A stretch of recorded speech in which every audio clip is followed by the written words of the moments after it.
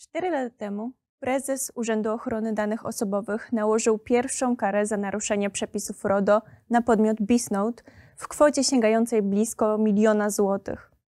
Na skutek kontroli dokonanej w Bisnote prezes RODO wykrył naruszenie ochrony danych osobowych.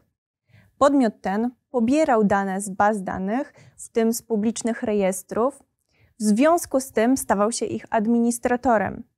Nie realizował on jednak obowiązku informacyjnego wobec podmiotów danych wynikającego z artykułu 14 RODO, to jest związanego z tak zwanym wtórnym pozyskaniem danych, czyli nie bezpośrednio od osoby, której dane dotyczą. Należy pamiętać, że jest to czynny obowiązek administratora i to on ma za zadanie podjąć działania, aby osoba fizyczna pozyskała informacje o celach i podstawach prawnych przetwarzania jej danych. Ponadto dane przetwarzane przez Bisnode były częściowo również nieaktualne, zatem administrator naruszył zasadę prawidłowości przetwarzania danych osobowych. Spółka Bisnode wskazała, iż brak realizacji obowiązku informacyjnego spowodowany był nieposiadaniem adresów e-mail podmiotów danych, zaś wysłanie pisma w formie korespondencyjnej wiązałoby się ze zbyt wysokimi kosztami.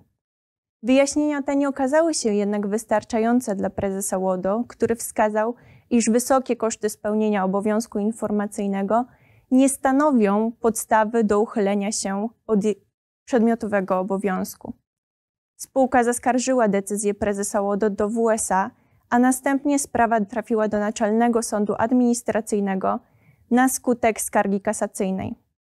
NSA jednak poparł decyzję organu nadzorczego i wskazał, iż zwolnienie z wykonania obowiązku informacyjnego może odbyć się wyłącznie w granicach wyjątku, zaś nie powinno dotyczyć standardowych operacji przetwarzania danych dokonywanych przez administratora w związku z prowadzeniem przez niego działalności gospodarczej. Administrator musi zatem pamiętać o tym, że aby przeprowadzać wszelkie operacje przetwarzania danych osobowych, musi posiadać podstawę prawną przetwarzania danych a także pamiętać o szeregu obowiązków wynikających z RODO, w tym o wykonywaniu obowiązku informacyjnego.